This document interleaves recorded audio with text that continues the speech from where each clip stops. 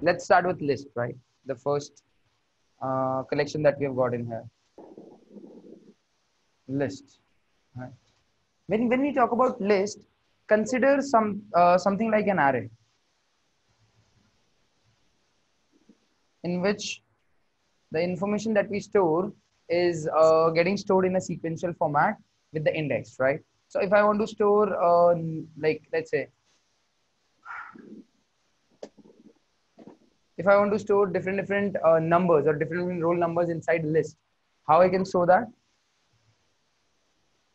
Just store it inside it, right? 11, 14, 10, 9, 11. So, or let's say this is just an age of students. Anything. So this complete is an array and when it comes to uh, apex it is called as a list right?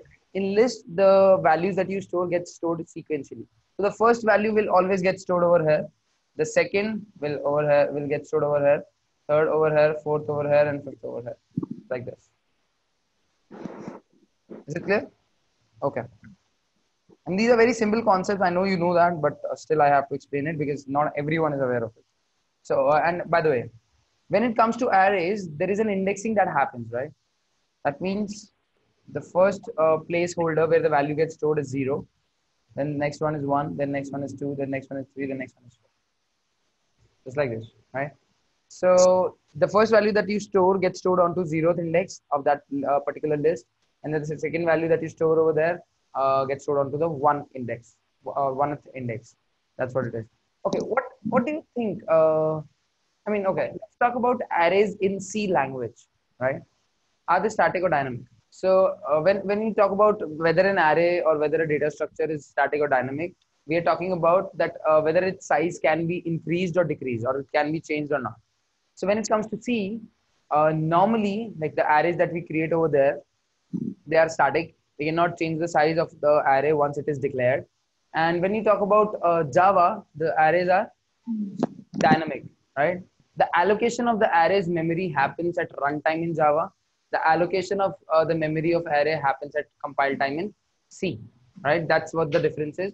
But the size again cannot be changed when it comes to arrays in Java. For that, we can create array list. You remember that? Whose size can be changed in, a, uh, or, or you can you you might call it vector. So basically, it's a data structure similar to an array whose size can be increased or decreased at runtime. In Apex, list size can be uh, increased or decreased at runtime. You just need to declare a list, and the more elements you'll add into it, the the, the more uh, the like the size will get increased. Uh, the more elements, uh, as uh, according to the uh, elements that you are adding into it. So like currently, I'm adding five elements into it. So it, it's I mean there will be five. The size will increase by five. If I'm adding 11 elements into it, the size will be increased by 11. And if I'm deleting five elements into it from it, then the size will get reduced as well accordingly right? So that's uh, what a benefit of list is in apex because it's dynamic and the allocation of the memory obviously happens at the runtime and uh, the size can be changed uh, can be increased or decreased at runtime. And why it is required by the way? Why, why it is necessary that uh, we should be able to change the size of a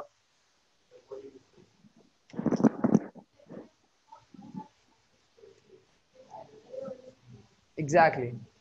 Yes uh, I mean, we do not know that how many elements are we going to store into this particular list. It might be five, it might be 50. So if we'll uh, declare 15, then the memory will be blocked for 50 elements. So in that case, we need the list or the arrays, whatever you want to call it, uh, to be dynamic so that we can change the size of it at runtime. That's what it is. Make sense? And again, the two main properties of it is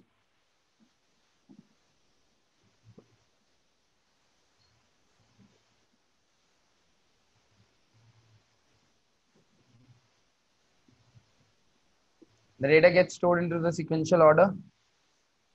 Next.